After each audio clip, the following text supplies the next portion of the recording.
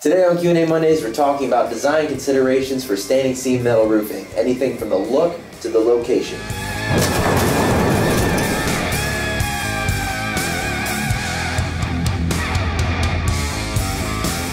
Welcome to Q&A Mondays. I'm Thad Barnette with Sheffield Metals. Today we're talking about design considerations for standing seam metal roofing. Check out the description. There's links down there. You can jump ahead to any of the questions that we're going to answer in this episode. Today I've got Julianne Calapa, Lori Reynolds Morrow, and Jeff Hock on the panel with me today.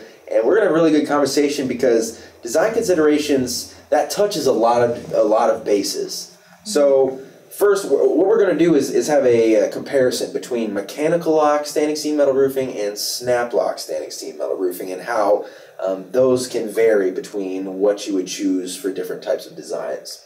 So let, let's talk about paint first. When it comes to mechanical lock versus snap lock, do those kind of dictate what type of finish ends up on your roof? No. Paint systems are going to be the same. Uh, if you pick your paint system, you can use it on either one of the okay. two panel profiles. And there are unpainted products as well. So what about those? Uh, you know, you have bare Galvalume, you have copper, you have zinc. Um, none of those have a painted surface as far as uh, PVDF or SMP finish. So, uh, but again, your copper, your zinc um, are more malleable, so you're going to see them more in mechanical lock panels. Uh, when it comes to acrylic coated Galvalume, again, you can use either snap lock or mechanical. So, how does geography impact the panel or the material choice? Geography really is going to depend uh, as far as material choice. Uh, in coastal applications, you're not going to want to use steel on the coast if you're right up against the water. Um, most warranties are within 1,500 feet of a coastline. You know, you're not supposed to use steel. So if you're on a coastal environment or a heavy saltwater environment, you're definitely going to want to go with an aluminum system. As far as your panel choice, whether you use steel or aluminum uh, in those coastal environments or any environment, you know, it's going to be what type of engineering do you have available for those panel systems. Mm-hmm. You want to make sure your engineering is applicable most coastal environments are high velocity hurricane zones, so you're going to be dealing with stronger uplifts and things like that. Mm-hmm. You want to make sure that your engineering is valid for those areas. You know, geography also comes into play when you deal with snow, um, especially on more low slope roof systems that are going to be holding a lot more of the snow. Um, mechanical locks tend to perform better than snap lock systems because you do have that double folded mm-hmm. seam. Mm-hmm. Um, so those are a lot of the you know material choices and uh, geographic locations. But basically, you know, the two main ones you want to look at geographically is, or the three main ones I should say, is you know cold weather snow, uh, high velocity hurricane zones, South Florida, uh, Gulf Coast of Texas, things like that, and coastal environments where steel wouldn't be an appropriate material to use in those areas. And we do have a Q&A episode with Tom Sutherland about uh, choosing your material choice and uh, we go into detail about aluminum versus steel and what you should be using on the coast and where you should be using it. So check that out right here. So when it comes to roof design, how, what kind of considerations are there for mechanical lock versus snap lock? Uh, slope's going to be a big factor in whether or not you use a snap lock or mechanical lock. Um, typically, industry standard is you don't want to use a snap lock below 312. So anything below a 312, you're going to stick with a mechanical lock. Anything below a 212, you're going to use a mechanical lock with inseam sealant. Um, you know, per testing requirements that you know they have out there to make sure that they can perform in those kind of conditions. Steep slope mechanical lock or snap lock would work fine. Again, you always want to check and make sure that the panel you're picking has the applicable engineering for the substrate that you're attaching to. Um, you know, for the wind uplifts that you need. So does roof deck choice dictate whether you should choose mechanical lock or snap lock? No, it does not. Um, they they can they can accommodate either mechanical or or snap lock either. Um, what what drives it is the engineering requirements for that particular project. If you have a good pitch on your roof, then you just want to make sure that the panel you pick has the type of engineering needed for the deck assembly that you're going to be installing it on. Okay. So what if your building doesn't have a deck? What if you're installing over open framing? Mechanical lock, typically your two inch mechanical and greater and a mechanical lock type panel is going to be the most popular choice for going over open mm-hmm. framing.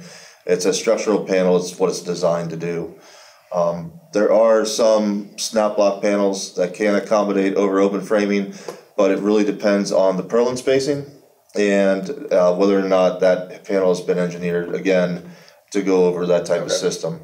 You know, one of the things with me and snap blocks and open framing, especially when you get into further purlin spacings, is I'm counting on that one little lip of metal that engages the snap block to keep me from the ground below. And uh, I, I, you know, I prefer that double seam a lot better than, uh, you know, a little tab of metal.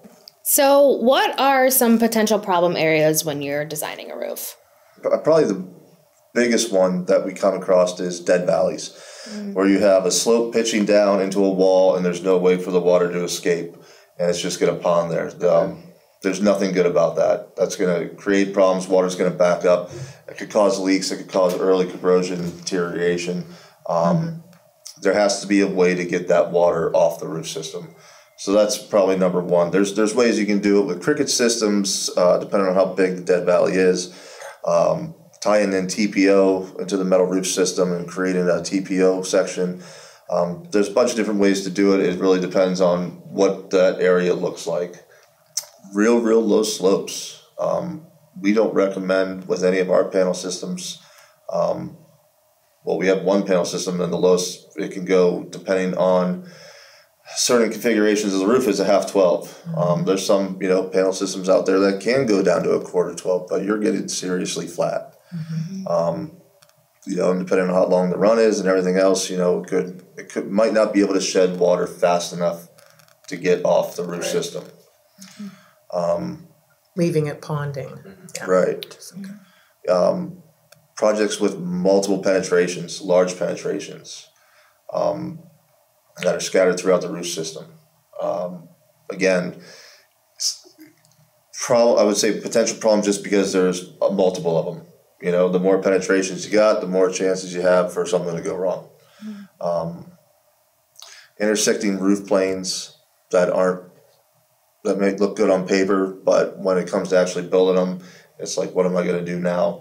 And that's what's great. If we're called in early, early design, you know, we can avoid all the energy being put into that design and it turns out they've pushed the envelope just a little too far. You know, we, we can support them that way, give them some guidance without maybe not compromising their very own creative design. We can work with them through Yeah. that. You know, the other one I guess I would throw in is when you come into um, people wanting to use other products in the roof systems. Um, you know, when we talk about gutters, you know, you know, real quick, we'll talk about internal gutters. When you have an internal gutter system, whether it's in the center of the roof to catch water, or if it's just built in and you have an internal gutter system, it's easy for something to get blocked and water to back back up on the roof. Or with a gutter system, and it's like, hey, I really like copper gutters on my on my house, and that's a dissimilar metal. And you know, as the rain comes in, it splashes up, and you get dissimilar uh, copper runoff onto your metal panels. So um, there's a lot of things that go into it.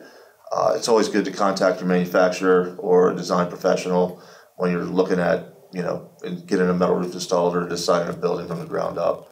And that's a great point too. If you're designing a roof and you have any questions when it comes to design or you have some considerations or you're running into any problems, Jeff and Lori does a great job with our architectural to technical department as well as Dave Stubbs. They'll be happy to answer any of your questions. Check us out at Sheffield Metals online, sheffieldmetals.com. You can find all the contact info there. Subscribe to the Metal Roofing channel. Comment below with any questions you'd like answered on Q&A Mondays. Anything else, like I said, check out Sheffield Metals online. We'll catch you next time.